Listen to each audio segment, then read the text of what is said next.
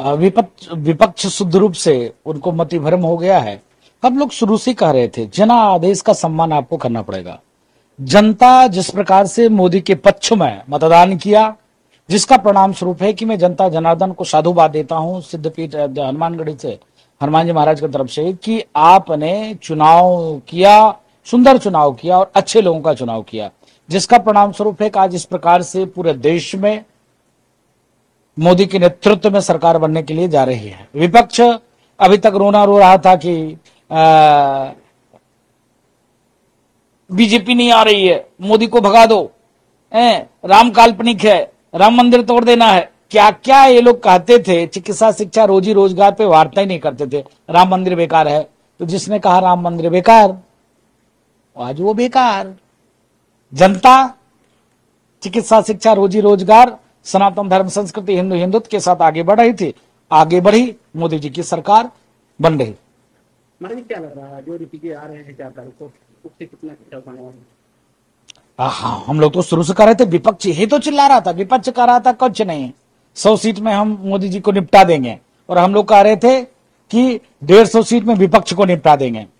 डेढ़ सौ भी सीट अगर विपक्ष का आ जाए तो समझो जनता ने उनके ऊपर कृपा किया क्योंकि विपक्ष जिस प्रकार से सनातन, कोरोना है, डेंगू है, मलेरिया है, राम मंदिर बेकार है, राम मंदिर तोड़ना चाहिए, अल्पसंख्यकों को अल्पसंख्यकों को आरक्षण देना चाहिए, ये सारे भाव को सनातनी समझकर भारत में रहने वाले जितने भी मतदाता थे, सारे मतदाताओं ने एक सूत्र से मोदी जी को अपना नेता माना और मोदी जी को कमल का बटन दबाकर और आशीर्वाद दिया। मुझको लगता है कि अब भारत उस वैभव पर पहुंचेगा जो पहले हुआ करता था, सनातन सनातन संस्कृति, हिंदू, हिंदुत्व को लेकर डेवलपमेंट विकास को लेकर, जिस प्रकार से भारत बढ़ रही है, मोदी जी के नेतृत्व में विपक्षी खत्म है, विपक्षी धाराशाही है, विपक्षी मुद्दा विहीन था, विपक्षी के पास कोई मुद्दे नहीं थे, विपक्षी सिर्फ़ सनातन को टारगेट करता था, इसके नाते हिंदू जनमानस ने विपक्षी को टारगेट किया और विपक्षी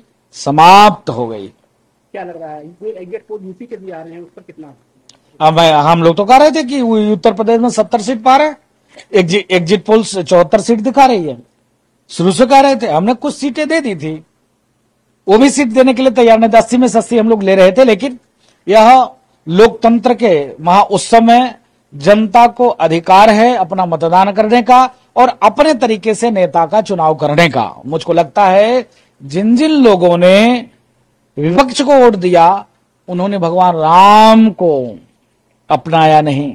उन्होंने भगवान राम का तिरस्कार किया और उनको मनन करना पड़ेगा कि किसने राष्ट्र के लिए किसने सनातन के लिए किसने संस्कृति के लिए कार्य किया है उसको मतदान करना चाहिए था। लेकिन आपने विपक्ष को अ, कहीं कहीं आपने मत अपना प्रदान किया ये अच्छी बात है। लेकिन आपको पुनः मैं निवेदन करूँगा कि चलिए विकास में आप सहयोग किए कोई दिक्कत नहीं है। मोदी जी के नेतृत्व में सरकार बन रही है और मुझको लगता है ये बहुत चौंकाने वाली है, क्योंकि विपक्ष शुरू से शुरू से शुरू से विपक्ष लगा हुआ था कि मोदी जी को खत्म कर देना है, मोदी जी को निपटा देना है। बीजेपी की गवर्नमेंट नहीं बन रहा है। हम लोग शुरू से कह रहे थे, इस बार 400 पार के साथ पुनः मोदी जी की सरकार बन रही भारत राम राज्य की ओर बढ़ रहा है, इसी को कहते हैं राम राज्य की परिकल्पना। आप देखिए, जिस प्रकार से मोदी जी प्रचंड बहुमत से 400 पार करते हुए चुनाव जीतने जा रहे हैं।